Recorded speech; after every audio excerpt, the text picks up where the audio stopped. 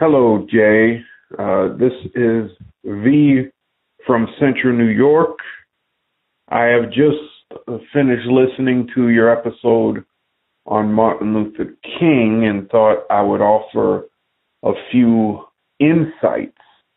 I have been studying Dr. King now for about uh, 10 years, and the information which was brought out on your recent episode uh, got me to thinking, particularly on the aspect of um, Dr. King's quote paternalism. Uh, now, this has become a very in vogue uh, statement and to make recently about his concern with black men over black women. And I'm often uh, remindful of people who I find who want to talk about this that one, this was the 1960s. Uh, two, in the black community, black men often take positions of protection over their women because it was often through the woman that the white men wish to do the most damage upon the psyche of the black family. Thus, by raping and degrading through forceful touching of a black female, um, they could show the black male that he had no power over the white society in general. This is often missed in the white society um, because uh, they do not understand the inner workings of our community. Secondly, in a speech that has recently come to light from 1964 called Summer of Our Discontent, Dr.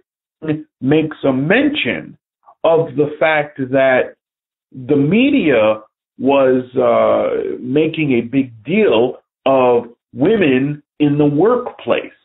But this was specifically for white women in the workplace because in the speech, Dr. King mentions in the black community, it has been a tradition that the black woman was always working. She was always engaged in labor.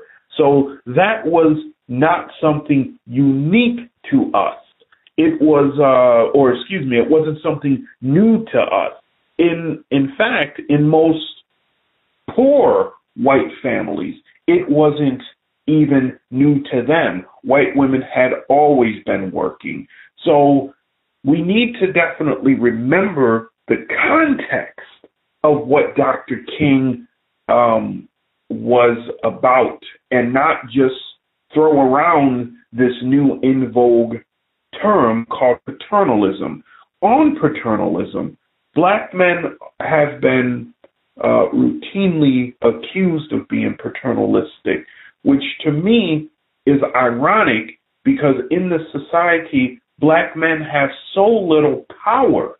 And in many instances, black females are preferred in the workplace now because of the system and how uh, I've literally heard uh, human resource uh, personnel say this that black women count twice for them. So they can say we have a woman and we have a minority.